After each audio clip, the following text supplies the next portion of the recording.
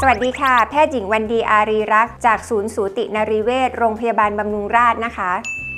คุณผู้หญิงเคยได้ยินเรื่องเกี่ยวกับมะเร็งปากมดลูกไหมคะ น่าจะเคยได้ยินกันมาบ้างนะคะ เพราะว่ามะเร็งปากมดลูกเมื่อก่อนยืนหนึ่งเลยค่ะ แต่ปัจจุบันเนี้ยหล่นลงมาเป็นลำดับ 2 เนื่องจากว่าเรามีวิธีการป้องกันที่ดี เราจะป้องกันยังไงคะ เนื่องจากมะเร็งปากมดลูกเนี่ยเกิดจากการติดเชื้อไวรัสชนิดหนึ่งชื่อว่าไวรัส HPV ค่ะ ดังนั้นเนี่ยการป้องกันก็คือการฉีดวัคซีน เพื่อป้องกันไวรัส HPV อย่างเช่นสายพันธุ์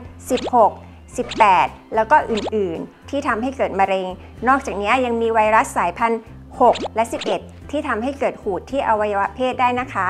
ไวรัสบางตัวเนี่ยก็ทำให้เกิดมะเร็งที่ช่องปากและก็ลำคอได้เช่นกันค่ะ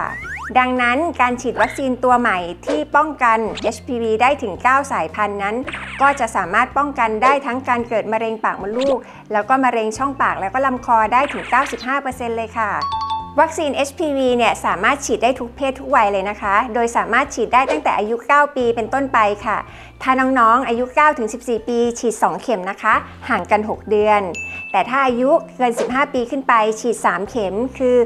0 2 แล้วก็ 6 เดือนค่ะ หลังจากฉีดแล้วเนี่ยไม่ต้องกังวลนะคะ ประสิทธิภาพอยู่ได้ตลอดชีวิตไม่ต้องฉีดกระตุ้นค่ะ ส่วนผลข้างเคียงเนี่ยก็อาจจะมีเจ็บ ปวดบริเวณที่ฉีด หรือบวมแดงเล็กน้อยเท่านั้นเองไม่มีอะไรต้องกังวลนะคะ หากท่านมีข้อสงสัยหรือสนใจเกี่ยวกับการฉีดวัคซีนป้องกันมะเร็งปากมดลูก สามารถติดต่อสอบถามได้ที่แผนกศูนย์สูตินรีเวชโรงพยาบาลบำรุงราษฎร์ค่ะ